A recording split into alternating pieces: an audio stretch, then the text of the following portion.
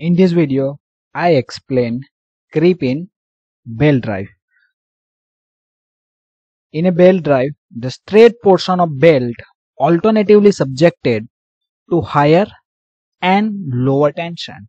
So here you see in this diagram, this is a driving pulley and this driving pulley is rotated anti-clockwise and this is a driven pulley.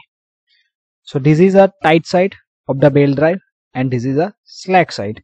So tight side have a higher tension T1 and the slack side have a lower tension T2 means when the belt is moved towards the tight side some stretching is takes place. Means some extension is takes place means the length of the belt is increased.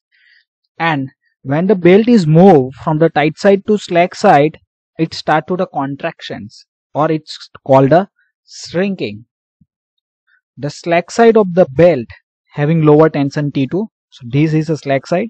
Slack side have a lower tension T2 when it enters to a driven pulley so this is a driven pulley. So when the belt is enter here what's happen? It's subjected to gradually increasing tension from T1 to T2 so from this side of the belt tension is T2 and when it is moved this side it's increased from T2 to T1 and due to this increasing tension this portion of the belt is extends.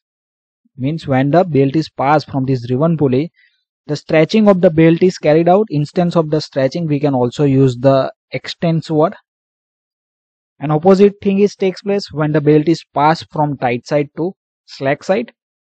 The tight side of the belt having a higher tension T1 when the belt is enters into a driving pulley is subjected to gradually decreasing tensions from T1 to T2. So this portion of the belt is contract or we can also say this portion of the belt is shrink. The extension of belt is more than the contractions. Means when the belt is passed from the driven pulley at that time the more extension is takes place and compared to the extension the contraction is the smaller. This alternate extension and contraction of the belt lead to increasing the length of belt. So due to this contraction and extension, the length of the belt is increased after long use of the belt drives. And what happen if the length of the belt is increased?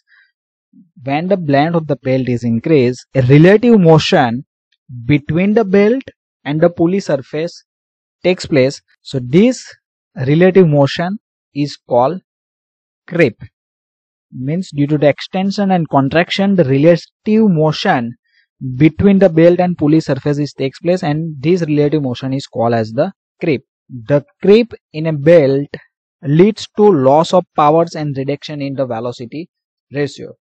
So when the length of the belt is increased due to that loss of powers and the some reduction in the velocity ratio are also there.